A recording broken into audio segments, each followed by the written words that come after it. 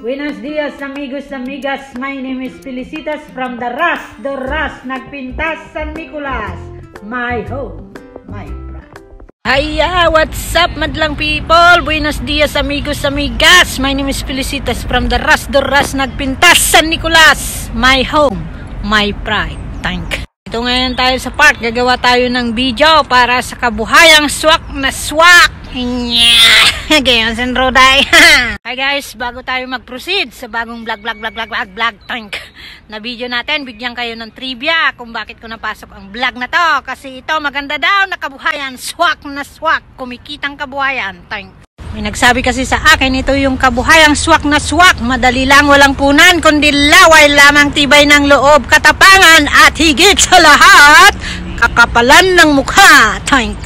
Alright, rock and roll, man! Let's go! Proceed to the next video. Pag-usapan natin yung mga usapan tomboy girl bakla na pinasikat ni Vice Ganda. Ha! Ang lahat ng aking sasabihin sa video na to ay pawangkathang isip lamang at sariling opinion lamang kung kayo'y tinamaan. Wala akong pakialam dahil ito ay aking kabuhayan. Ito, naisip ko lang at opinion ko lang to ha, mga kababayan ko noon, noong mga panahon-panahon, ng mga tumboy, bakla, ganon, ganon, yung mga noon, noon, noon, nung tumboy pa ako, tank. Sabihin ko sa inyo, mga kababayan ko, nung panahon noon, hindi tinatanggap ng masa ang mga tumboy at bakla, nakatago sila, pero masaya, tahimik, walang wilga, tank. Pero bakit ngayon hindi makontento? Tinanggap na kayo ng lipunan at pamahalaan. Ang dami nyo pang demand. Kung ano-ano pang pinaggagawa. Minsan nagwiwilga. Ano ba yan? Huwag ganon! Sana all happy. Ganon yun! O ito, part 2. Pag-usapan naman natin si Mare. Yung mga chismusa dyan, mga kumare. o, kumare, kumare. O, talnakatan. Ha? Baka matirwang ka ganig. Babasol ka. Ito para sa mga chismusa, 'di ba? Yung mga chismusa noon na ano, nilalait-lait nila yung mga bakla, mga tumboy, sinasabi malande. Anong nangyari, mare? Ano ngayon yung malande? Kumabit ka kay pare. Thank ito yung madalas na linya ng mga chismusa eh. Sabihin niya pag nakakita sila ng mga tumboy, mga bakla, gano'n na nasa kalsada, tapos sabihin niya, yuck, kadiri! Ganon-ganon sila. Nangyari pala siya pala yung may bulok na kadiring ugalay. Ano, mare? ano ngayon? Kita mo yung mga baklat tumboy ngayon, mga sikat. Oh, mga ngayon, mga tatalino, mga dikado. Oh, ikaw, mare, hanggang nasaan ka ngayon? Nandyan ka pa rin, nagtutong 8, sal 8. Ito pa, linya ng mga chismusa. Noon, sasabihin nila, salot daw sa lipunan ng mga bakla. Eh ano ngayon, nakita kita mare.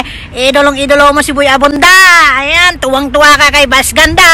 Eh ano, nasaan ngayon? Kinain mo na mga pinagsasabi mo, no? Kaya wag magbitaw ng salita kung ikaw naman ay hindi. Perfecto. Toink.